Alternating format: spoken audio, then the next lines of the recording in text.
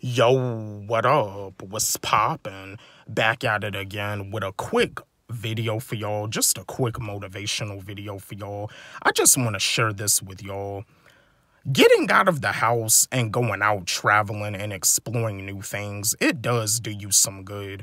There's nothing wrong about being a homebody. I'm a homebody myself, but to come to think about it, there's nothing wrong about getting out and exploring new things because you know, one of the ways you can like learn new things and one of the ways you can like find out some information that you didn't even know about because it's like with all the stuff that you was like taught in school and the stuff that that that that people still be telling you to this day you you you, know they you, you realize that you was pretty much brainwashed one of the ways yeah because i know like a I know that there's a lot of you out there that that come on YouTube. You go on YouTube and you may like watch a woke video, you may watch a woke YouTuber, you may watch a spiritual YouTuber, you may even like watch one of my motivational videos.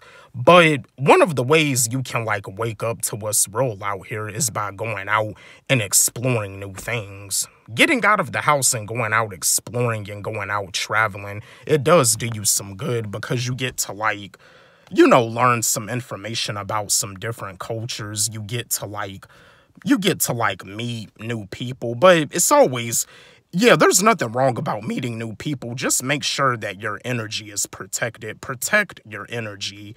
Protect your energy and be careful who you dealing with. Be careful who you hanging with because you do got people out here that'll be willing to suck out all of your energy. Keep your energy protected, but yeah, getting out of the house, getting out of the house, traveling, just going somewhere, just taking like a, you know, like a road trip, a, a road trip, driving in your car, vibing to some music in the car. Sometimes you just, you know, need that in order to relax your mind, in order to relax, chill out, lay out.